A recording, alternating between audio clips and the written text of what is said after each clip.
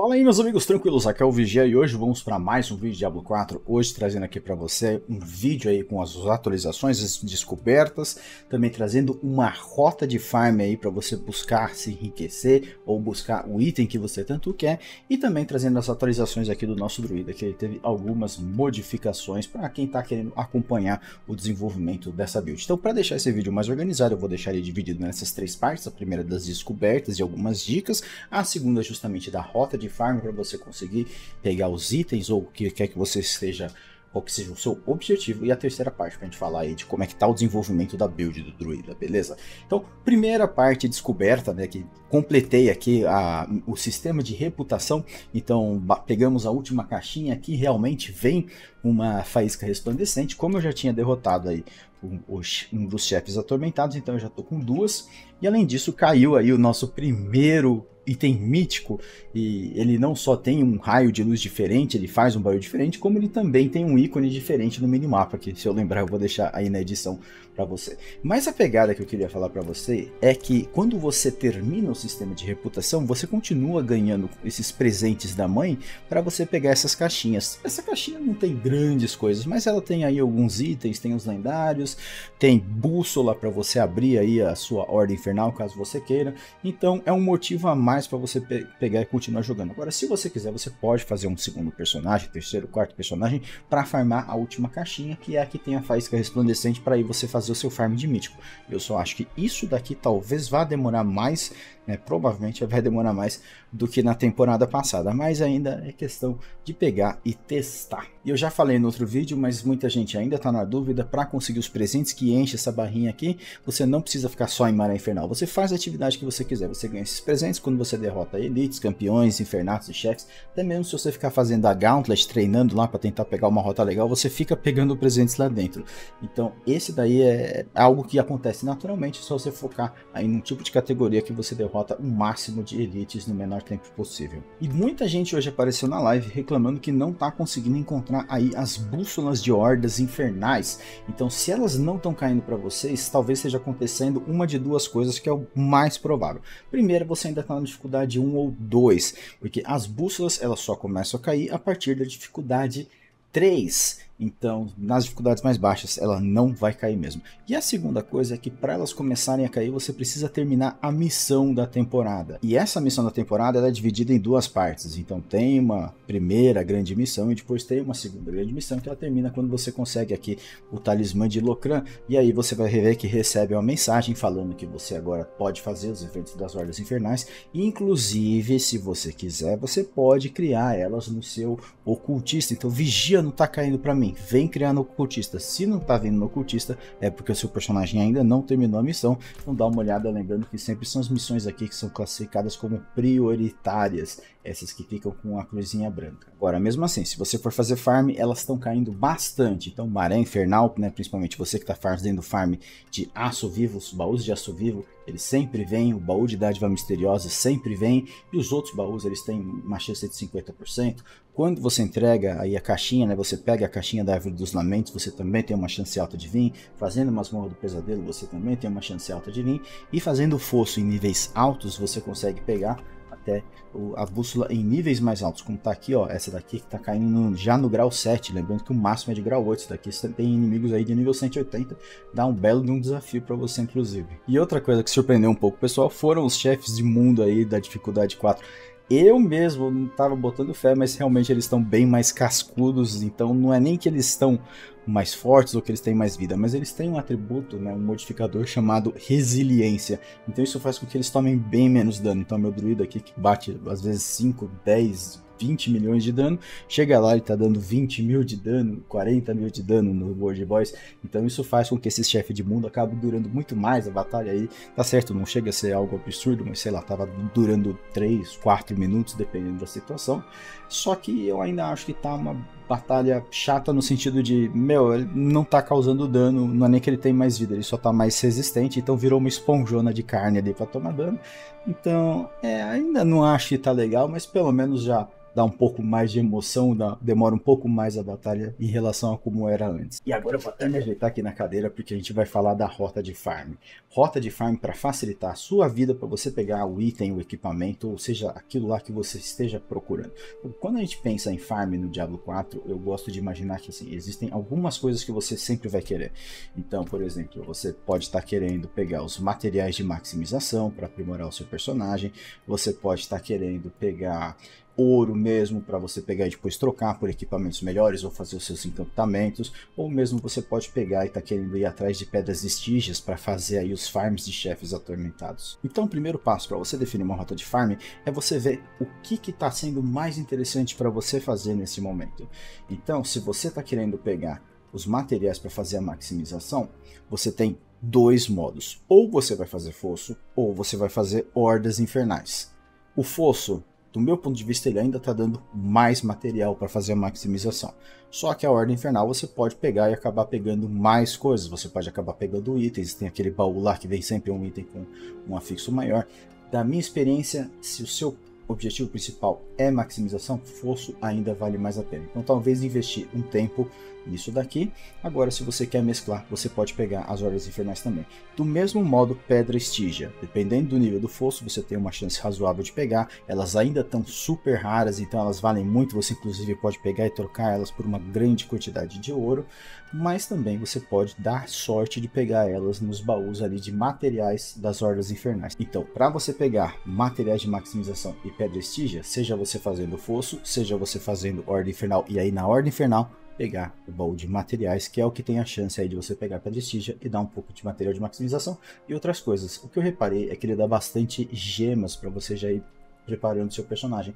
Então pode ser que seja algo legal para você fazer no início, é questão de você analisar. Agora, se o seu objetivo é puramente pegar ouro, as hordas infernais estão valendo muito mais a pena pega, faz uma rodada de ordem inteira e abre aquele baúzinho que vai converter todos os embers que você tem em ouro. Isso vai dar uma quantidade absurda de ouro. É o melhor modo do que eu tô vendo no momento para você conseguir ouro, melhor do que você fazer atividade da árvore dos lamentos, do que você ficar vendendo itens. Só não é melhor do que você pegar um belo de um item e colocar para trocar num, num site, num Discord, que alguém vai chegar com um monte de ouro aí para pegar esse seu item. Mas aí você depende de sorte. Então, se você às vezes está querendo pegar um equipamento legal, pode ser que você pegando ouro assim você consiga esse tipo de equipamento que você quer. Outra coisa que você muito provavelmente pode estar indo atrás, principalmente nesse começo de temporada, é atrás de equipamentos. Então, o que eu gosto de pensar, eu vejo as minhas peças e eu vejo qual que é o item menos difícil de eu conseguir e que eu posso aí ter um melhor desempenho, né, que vai melhorar mais a minha build. Então, por exemplo, a minha build é uma build que ela vai depender do cataclismo ativo o tempo todo. Como que eu vou facilitar isso? Diminuindo a recarga dele, seja através aqui uma pedra de Dolmen, ou então aumentando a duração dele, seja através do anel bionico com uma tormenta infinita. No meu Tormenta Infinita veio baixa, aqui a recarga ela até que veio legal, mas eu posso pegar algo melhor, eu posso tentar procurar uma pedra de Dolmen que tenha aí uma redução de recarga com um afixo maior que vai me facilitar muito a vida. Então são dois drops que vão me facilitar muito a vida sem eu ter dor de cabeça. E aí o que, que eu faço? Eu analiso qual que é o melhor lugar para conseguir eles. Então, pedra de Dolmen, né? lembrando que esses itens únicos você pode pegar em qualquer lugar, né? não é específico desse lugar, mas os itens únicos que são, que tem o Target Farm, eles são muito mais fáceis de você conseguir em determinados chefes. Então, Pedra de Dome, você tem muito mais chance de pegar no Duriel e na Dariel. Então, tem essa página aqui do Max Hope. Aqui, né, se eu vier aqui procurar. Aqui, ó, Stone melhor lugar, Durel e Andariel. Infelizmente isso aqui só tem em inglês, então você pode vir aqui e colocar, e ele ainda não está atualizado, né? por exemplo, se eu vier colocar aqui o, o Mijonic Ring, ele está falando só Hordas Infernais, mas eu já consegui um monte deles no Grigori, então eu acho mesmo que ele cai no Grigori, é improvável que eu tenha dado sorte de pegar vários deles, assim, de maneira tão simples. Eu vou deixar na descrição desse vídeo um link de um vídeo em que eu ensino você como que você descobre um dia atrás de itens únicos ou aspectos lendários, tá? O jeito mais fácil para você descobrir como que pega o item que você está precisando para sua build. Então, a partir do momento que você já sabe o item que você precisa e o que, que você precisa fazer, é uma questão de você pegar e pensar na melhor rota. Então, por exemplo, Pedra de Dolmen, eu pego, eu posso pegar principalmente Duriel e Andariel. O Anel Mijônico, eu pego principalmente do Grigori. Então, por que, que eu faria Andariel se eu já vou ter que fazer Duriel, o, o Gregório de qualquer jeito? Então, eu fazendo o Gregório de qualquer jeito, eu vou pegar os estilhaços de agonia, que já é meio caminho andado para eu fazer o Duriel para pegar a pedra de Dolmen. Então, eu sabendo o item que eu preciso, eu já vai direcionar o meu farm. Então, isso é o que vai determinar o tipo de chefe que você vai fazer. Então, se você precisa pegar um item do Grigori, o que, que você vai farmar? Aço vivo. Então, você vai ter que fazer Maré Infernal. Melhores categorias para você fazer, vem aqui, ó. Faz as missões que você aproveita e já que você está fazendo o pegando o aço vivo, você vai fazendo a categoria aqui já enche uma caixinha, vem na árvore dos lamentos, troca, porque aí você também já vai pegando peças do Varshan para fazer o Varshan também, e aí você vai ter tanto o, o ovo coberto de muco, quanto o estilhaço de agonia para fazer o seu Duriel. Se você precisa fazer o Grigori, aço vivo para fazer o Grigori. Precisa fazer o Varshan, missões aqui da Árvore dos Lamentos. Ah, e Vigia, eu só preciso fazer o Varshan, não preciso fazer o Grigori. Então você vai pegar as categorias que sejam mais fáceis para você fazer. Então, por exemplo, missões às vezes que são simples, às vezes essas masmorras aqui, ó, que são rapidinhas, as masmorras da temporada, já te dão 5 pontos, né? O que eu gosto de fazer, ó, vem aqui, ó, quando tem uma, uma maré infernal que começou, mata a donzela de sangue e faz aqui uma, uma masmorra dessas, você já tem uma coleta completa aqui na Árvore dos Lamentos. Eu ainda acho que é mais rápido para a gente fazer o Grigori, mas é um jeito que você vai juntando os pontos para fazer o Varsha também. Lord Zir, você vai precisar aí de sangue sofisticado. O sangue sofisticado. O que tem me parecido mais fácil é de pegar ele da donzela de sangue mesmo, que você também pode conseguir fazendo legiões, fazendo é, é, chefe de mundo, você pode pegar e derrotar Goblin e cair, né? Mas aí, ó, tá vendo? Adquirido de chefes do mundo, do evento de legião e da donzela de sangue são os principais modos. E donzela de sangue você pode fazer várias, desde que você tenha aqueles corações perniciosos. Então é bom você procurar um, uma instância em que você chegue já tem várias pessoas fazendo ali a donzela de sangue, e é um método de você farmar aí bastante sangue sofisticado assim. Só lembra, se possível, de você colocar um dos coraçõezinhos ali para melhorar um pouco o seu drop. Se você não colocar nada, o seu drop na donzela de sangue vai ser muito baixo. E o último que pode ser que você precise é fazer o farm de Fera do Gelo. Como é que farma a Fera do Gelo? Agora é com medo destilado direto, você não precisa fazer o sigilo, você só entra na masmorra dele lá e você invoca. A sacada para você fazer o Fera do Gelo é você pegar um nível alto de masmorra do pesadelo e você pegar aquela relação de melhores masmorras para upar glifos. Por quê? Porque essas masmorras que são consideradas as melhores para o paglifo são as masmorras que são mais rápidas para você completar. Então você consegue uma maior quantidade de medo destilado no menor tempo. É claro que você vai fazer os sigilos e nem sempre você vai ter aquele sigilo específico que é recomendado, mas você vai pegando e vai vendo, ah, essa daqui demorou demais, então você não repete e tal. Lembrando que conforme como você vai pegando bastante dessas bússolas conforme você vai fazendo essas atividades mais altas, você pode reciclar elas e transformar elas aí em pó de sigilo. E se vocês forem ver aqui, eu tenho uma quantidade bem boa de pó de sigilo, simplesmente porque vai enchendo o baú aqui dessas bússolas e eu vou reciclando. E uma dica extra que eu vou dar para você é, se você precisar fazer maré infernal, que eu acho que é bem provável, e você tá com pouco elixir aqui o mente presa profanante, você dá uma olhada para não ativar ele logo no começo da maré. Então, por exemplo, essa daqui ela já tá no momento em que ela tá próxima de terminar. Então, essa maré infernal ela tem mais 17 minutos. Esse é um momento legal para você ativar os seus elixirs, porque você vai vir aqui, vai derrotar essa donzela, vai ter o fim dessa maré e quando começar a próxima maré, você ainda vai ter o elixir ativo para pegar o começo dessa próxima maré. E aí a hora que você vier aí terminar as atividades, porque normalmente o que você faz? Se você precisa farmar maré infernal, você vem, faz as atividades aqui, né? Então que sempre vão dar 10 pontos, então donzela, os cult... É que essa daqui eu já estava fazendo, tá pessoal? Então não tem uma aqui que acho que não vai aparecer, mas no total dão 10 pontos. Né? Então você junta aqui, faz essas missões, né, para pegar pontos também para a árvore dos lamentos. E você, vai, e você vai pegar também aqui pelo menos 550 cinzas. Se você tiver com o elixir ativo, você vai juntar essas cinzas mais rápido. Por quê? Porque nessa área aqui você vai ter um baú laranja, um baú de aço vivo. E nessa área aqui você vai ter outro baú de aço vivo. Eventualmente, quando você tem, por exemplo, aqui no Quegistão, você tem três áreas de maré infernal. Você tem uma, duas e três ativas. Aí, ao invés dos 550, você vai precisar de 775 cinzas, então rende um pouquinho mais, aí você vai conseguir pelo menos 15 de aço vivo. Então deu para entender, porque a ideia é, meu, você pegou esse, esse aço vivo mais denso, não, não vale mais tanto a pena você ficar ainda na área de maré infernal para pegar, sei lá, o baú de armadura que vem um de aço vivo, pode vir algum item bom, até pode dar sorte de você pegar algo bom, mas a chance é menor, então vale mais a pena a partir do momento que você já limpou, você fazer uma de duas coisas.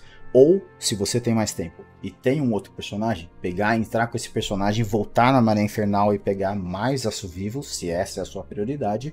Ou então pegar aquele seu personagem, já que a Maré Infernal já não vai mais render tanto, você ir fazer alguma outra atividade que renda. Seja, por exemplo, você vir aqui farmar o, seu fosso para você juntar materiais de maximização, né? e pedra estígia, seja você fazer hordas infernais para farmar ouro, então eu recomendo que você mescle desde que você esteja conseguindo ter o tempo. É, eu vigia, eu vejo que eu faço, sobra tempo, então esse é um método que você vai conseguir fazer render mais. Então eu espero que essa dica de farm ajude você bastante. E agora para falar da progressão do druida aqui de Cataclisma com Rochedo. O drop que fez toda a diferença foi o Anel do Céu Sem Estrelas, mas tem uma pegada que para usar ele eu precisei acertar bem a recarga e ele tem um, um, aspecto que é interessante que eu achei que não iria funcionar, que é justamente dele, dele conseguir pegar a bonificação de gastar recurso enquanto estou com o Cataclisma ativo junto com o Anel Mijônico. Porque a ideia, do, a descrição do anel mijônico, ela não bate muito bem. Eu vou mostrar para vocês rapidamente aqui a hora que eu entrar no campo de batalha, para vocês entenderem melhor a sacada. Porque a descrição do anel mijônico diz que quando você está com cataclisma ativo, você ganha espírito ilimitado, mas não é necessariamente isso que acontece. Porque se você for ver aqui o espírito ilimitado, a nossa regeneração de espírito, quando eu vou ativar o cataclisma, não sobe, mas eu tenho redução de custo de espírito. Então o que eu imaginei é, com o céu sem estrelas ele não iria funcionar, porque gastar o seu recurso primário reduz o custo de recurso das suas habilidades. Ó, então eu tô aqui ó, com a habilidade custando zero de espírito, mas ó, ele tá pegando os procs aqui do céu sem estrelas. Então isso daqui é algo que vai aumentar muito o meu dano. Então o céu sem estrelas ele vai ter um efeito muito interessante aqui nessa build, embora não tenha lógica dele estar tá funcionando, né? no papel ele não deveria estar tá funcionando porque a gente não está gastando recurso. Agora, se fosse assim, o efeito do anel mijônico faz com que você tenha uma regeneração é, de recurso praticamente, a, sei lá, mil por segundo, algo absurdo, aí sim eu veria que tem lógica. Até porque, mesmo quando ele está ativo, por exemplo, você pega a bonificação do céu sem estrelas, mas a gente não pega a bonificação do orientação ancestral. Né? Depois de gastar 75 de espírito, você ca causa dano aumentado por 5 segundos. E isso talvez aconteça porque ele tem o custo de recurso zero mas ainda assim, mesmo você gastando zero de recurso, o jogo considera que você gastou recurso para ativar a bonificação do céu sem estrelas. Então parece meio confuso isso, mas é basicamente isso que aconteceu. Então esse foi o primeiro upgrade, pegamos o céu sem estrelas, depois peguei uma flicker melhor aqui, que ela teve aumentado de dano supremo, e aí eu acabei pegando o crítico da maximização e redução de dano recebido, que é ótimo, e ela veio com 3.6 de redução de recarga quando elevado, então isso daqui para mim é algo muito legal, porque ele vai fazer com que, mesmo que eu não tenha ali, no caso, o, o anel da herida, eu consiga ficar com a minha recarga do cataclisma bem boa para enfrentar um chefe, para mesmo fazer as, as masmorras. O, o grande problema que a gente encontra aqui quando estou enfrentando outros inimigos é de que se eu ativo o rochedo, o rochedo vai empurrando os inimigos para longe. Então às vezes eu tenho que esquivar por eles para ativar o bônus do passo trêmulo e eu não consigo porque ele, o rochedo está empurrando eles para longe. Então fica um gameplay um pouco atrapalhado, mas eu ainda acho que o, a, a, build está indo muito bem. Então eu também peguei aqui uma pedra de Dolmen com um pouco mais de redução de recarga e eu consegui pegar um crítico de maximização nele, então agora tem 33,6 de redução de recarga do cataclismo. Você vê que se eu pegar a outra pedra de Dolmen, se eu pegar a outra pedra de Dolmen, a recarga é de 35 Tá indo para 42, 43 segundos quase, então é muita diferença que faz, então vale a pena sim pegar, né? O meu grande objetivo é pegar uma pedra de dome que tenha um afixo maior em redução de recarga, isso daí é resolver os meus problemas. E o, o próximo passo aqui é eu pegar um anel mijônico ali com uma que venha com dois tormenta infinita, esse daqui veio só com um, e vocês vão ver que ele está com a maximização em 9, porque é exatamente o que eu precisava para pegar mais 3 ali em Tormenta Infinita. Com 8 ele estava vindo mais 2, com 9 ele veio mais 3. A Tormenta Infinita ela vai fazer com que aumente a duração aqui do nosso, tanto do furacão quanto principalmente que é mais importante aqui o cataclisma e aí a build consiga rodar melhor. Todos esses fatos juntos, né, ao conseguir aumentar a duração do cataclisma e conseguir reduzir a recarga dele, fez com que eu pudesse abrir mão aqui do inexorável Jairida, que dava redução de recarga da habilidade suprema, para usar o anel do céu de 100 estrelas e aumentou muito meu dano. E outra modificação que eu fiz também foi que eu comecei a usar aqui a daga e totem. É, a daga ela tá dando dano contra inimigos próximos, não é tão legal pra gente aqui, mas isso daqui colabora um pouco com a passiva que a gente tem aqui do relampejado. Vocês veem que eu já peguei, eu não estou mais com cap no relampejado, porque agora o objetivo da build é outro. O objetivo é pegar o cap no devastação terrena, porque a gente vai ter muito mais dano de acerto crítico. Então, aqui eu tô com dano de vulnerabilidade, mas o legal seria ter um afixo maior ali de dano de acerto crítico. Não dá para rodar, não adianta pensar, ah, roda aquela vida. Não, no lugar daquela vida, a única coisa que poderia seria vir dano normal, para mim não interessa. Mas o totem para mim ele é interessante porque eu consigo colocar redução de recarga e do modo como está aqui, eu já tenho o dano sobre inimigos com sob controle de grupo na luva e no totem, e isso faz com que eu esteja quase capado no devastação terrena. Meu objetivo é chegar no 60%, ele já está em 57%, ele aumenta conforme eu vou colocando dano de acerto, é, dano contra inimigos sob controle de grupo, e esse é um nodo que ele dá muito aumento de dano pro nosso rochedo. Para você ver como é que esse nodo é impactante, ó, eu tô com ele aqui, ó, ele tá marcando aqui, ó, 149, 150 de dano de acerto crítico, tá? Mesmo tirando ele, o que que vai acontecer? Ele não vai alterar esse valor, mas vamos dar uma olhada aqui, ó, ele tá sem o nodo ativo. Eu vou ativar aqui, deixa eu só recuperar recurso, ele precisa passar aqui, Ok. Vamos ver aqui, ó, o rochedo, ó. Tá vendo? Tá dando 320, 281, 319, 403. Tá dando essa faixa aí, entre 300 e 400 mil.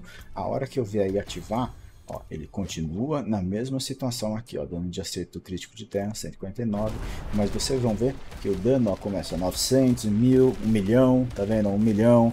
Então esse nodo, ele é muito importante pra gente, porque ele praticamente dobra o nosso dano.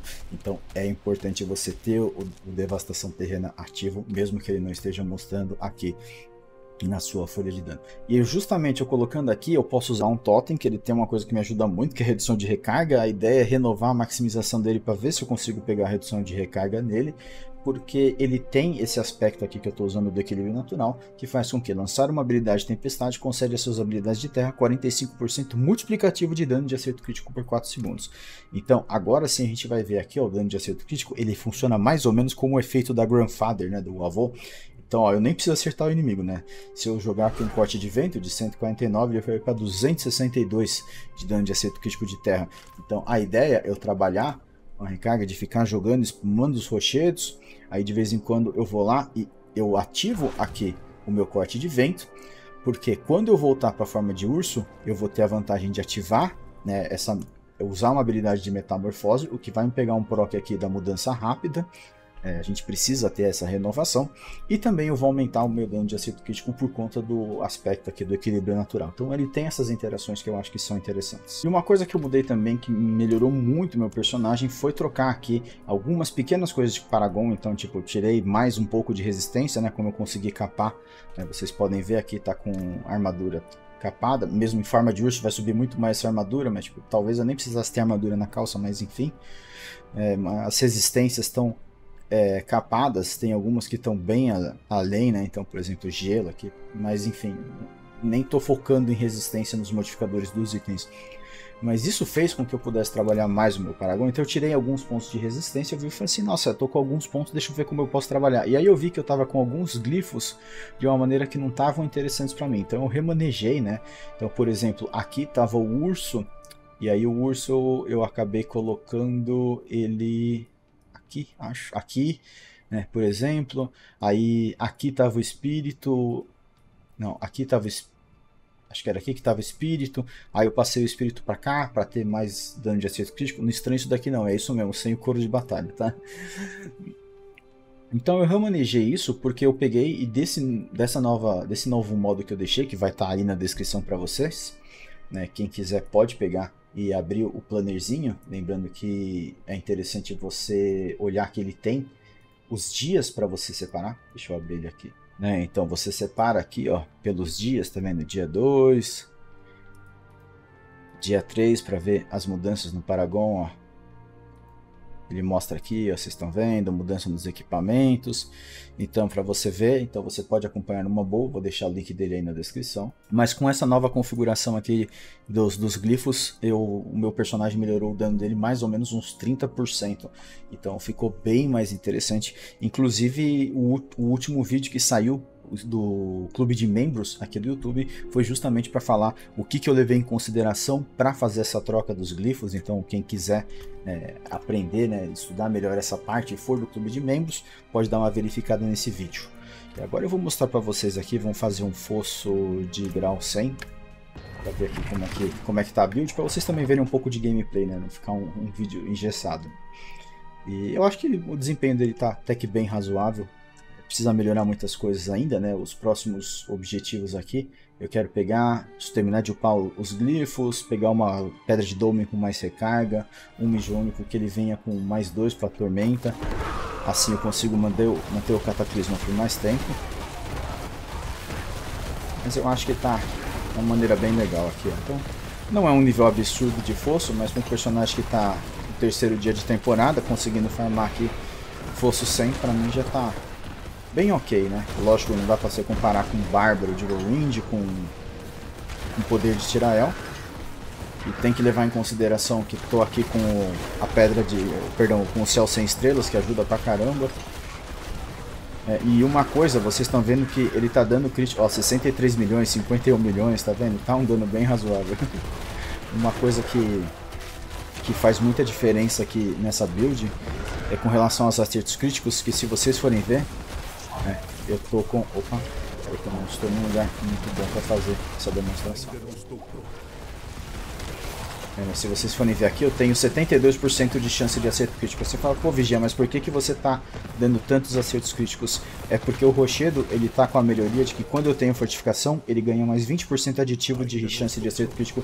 Então meu Rochedo, ele tá com 92% de chance de acerto crítico. Por isso que é praticamente toda vez ele vai dar o acerto crítico. E por isso que agora eu resolvi fazer essa alteração em focar em dano de acerto crítico e nem tanto em dano de urso né, no, no quadro de Paragon. Porque no início vale mais a pena a gente focar no dano de urso, justamente pelo fato de que eu não dou os acertos críticos com tanta frequência. E agora, praticamente todo acerto que eu fizer, né, 92% das vezes que eu acertar um inimigo com o meu rochedo, ele vai ser um acerto crítico. Se eu subir mais, eu acredito que eu terminando de fazer a maximização dos meus equipamentos, eu vou conseguir pegar aí 100% de chance de acerto crítico com o rochedo. Eu não vou nem pegar o pylon de invencibilidade lá de proteção, vocês verem que realmente a build é bem robusta. E eu acredito que em breve já vai dar para fazer um, um, guia mais completo para explicar para vocês as outras mecânicas aqui da build. Será que é para cá? Não é, não, não é. Como eu falei para vocês, a dificuldade mesmo é a gente conseguir atravessar os inimigos aqui com a esquiva. É uma coisa que você tem que lembrar, quando tá com o céu sem estrelas, ele perde o bônus muito rápido. Então você tem que de tempo em tempo tá, tá invocando, porque senão você perde 50% de dano multiplicativo. Tá? É, muita, é muito dano que você deixa de dar por conta disso. Então a rotação dele é meio pegadinha. Né? Então você dá uma esquiva, joga um corte de vento, invoca os rochedos. Mas eu tô achando uma build bem gostosa. E vamos ver a luta contra o guardião. Vocês estão vendo que a gente está praticamente o tempo todo com o cataclismo ativo.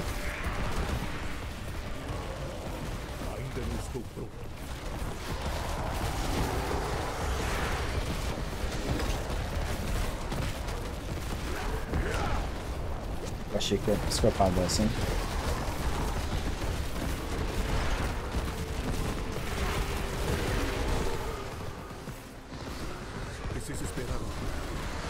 Não é porque o nosso personagem tanca que a gente vai arriscar, né? Elias bate doído. É um super farm, mas tá aí, ó. Pra vocês verem. É. Aí vocês já tem uma ideia de rota de farm aí, ó. Caiu 59 furna-ferro. Esses furna-ferros aí, pra você ter uma ideia, a gente pode converter em 180 engólitos. Isso daí vai, também vai ser convertido em 300... 180 engólitos são 300... É, 560 obducitas, então você consegue pegar o primeiro nível de maximização em 5 itens só para você ter uma referência.